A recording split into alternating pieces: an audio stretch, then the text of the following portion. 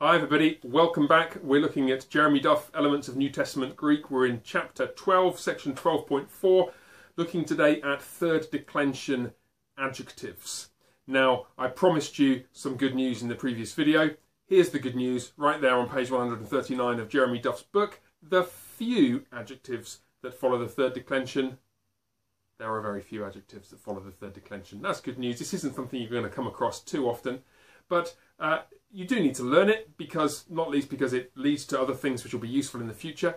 And moreover, it's actually not that complicated. It builds on the principles that we have been thinking about in relation to the third declension so far. So let's just start thinking about this and build, so to speak, from the ground up and try and work out what information we're going to need to know in order to construct the full third declension of an adjective which follows the third declension. Okay, so we know already that in the third declension the masculine and feminine forms are the same. Well, that's great news. Slashes by 33% the number of things we need to learn. We're expecting the same thing in the adjective, and that indeed is the case. So they follow the same pattern of declension in masculine and feminine forms.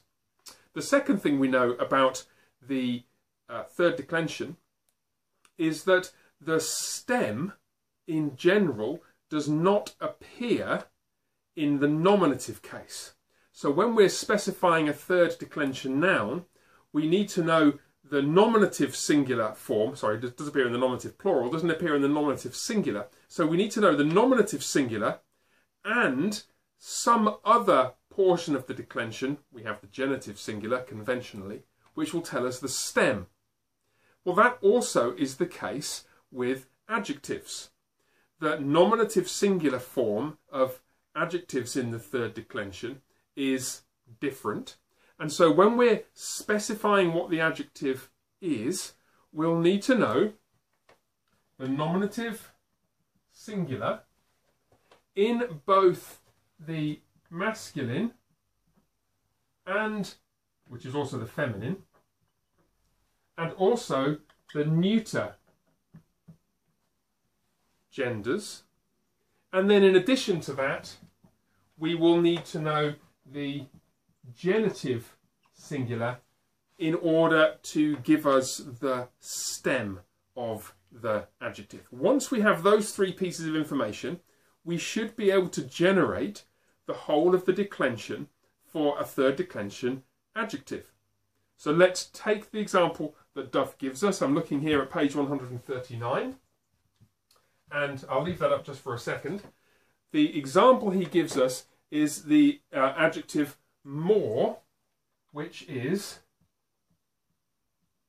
pleon, play on, play on os. Now, what does this tell us? Very simply, different colour. It tells us the nominative singular form in the masculine and feminine genders. It tells us the masculine singular form in the neuter gender and it tells us also the genitive singular which we'll need in order to get the stem, this bit, so that we can then build the rest of the declension. If we've got that information, then we should be able to use it in order, use it to generate the whole of the declension, masculine and feminine, singular, plural, neuter, and all four cases. So let me just click my fingers for a moment, move this up to the top, and then we'll write the declension out together and you'll see exactly what I mean. Hold on one second.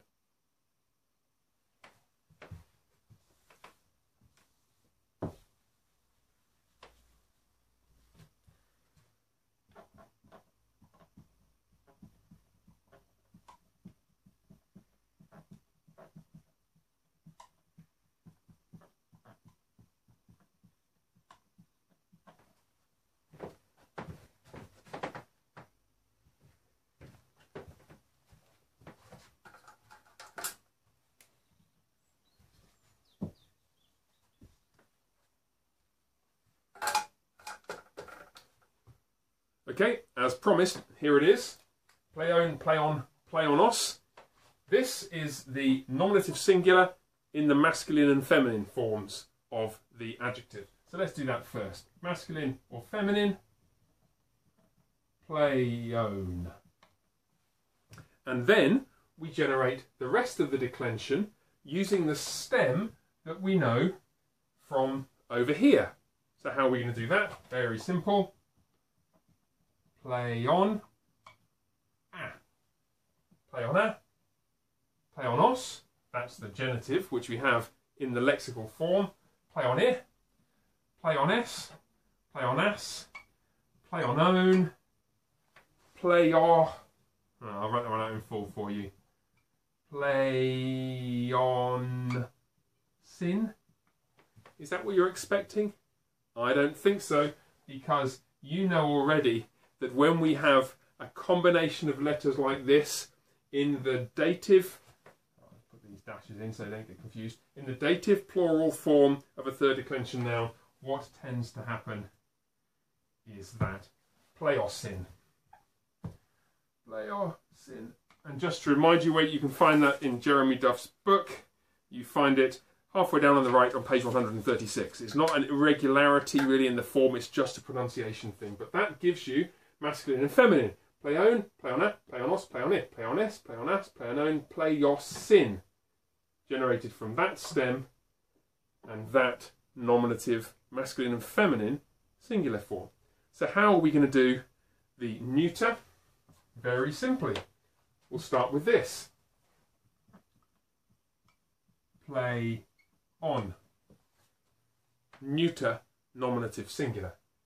Now, how do we generate the rest of the declension for a neuter uh, third declension noun or adjective? Well, we know that nominative and accusative are the same, so it's going to be play on, play on, and then the same as this, play on os, play on it, and then over here, play on, which is that stem again, and then what's the ending for nominative and accusative neuter plural? It's the same as with the neuter nouns and adjectives that you're already familiar with. Play on a, play on a, play on own, and then of course our old friend from over here, play your sin. So notice this whole lot over here is the same. Not something you need to learn, it's just something that you generate from the rules that you've already become familiar with. Masculine and feminine are the same as each other, with the unusual nominative singular, uh, unusual nominative singular in the neuter as well, but then we generate the rest of the declension just from the stem of the adjective which you get from the genitive singular form which is given you in the lexical form of the adjective. So just to recap, when you uh, read about or when you encounter in a lexicon or in some other place the, uh, the lexical form of a third declension adjective, you will see three words. Masculine and feminine, nominative singular. Neuter, nominative singular. And then the genitive singular, which gives you the stem. From that, you can generate everything. So it looks horrendously complicated because you've got this massive table to learn at the top of page 139, and it's really, really simple. You knew it already. You could have figured it out just from what you already knew. Not complicated. Keep going. 20 minutes a day, 30 minutes a day, five or six days a week, and we will nail this stuff and have you reading the New Testament in Greek in no time at all. We're almost at the end of this chapter, would you believe it? We've just got a couple of other sections to go, then we'll do some examples and crack on to chapter 13. Well done. God bless. Bye for now.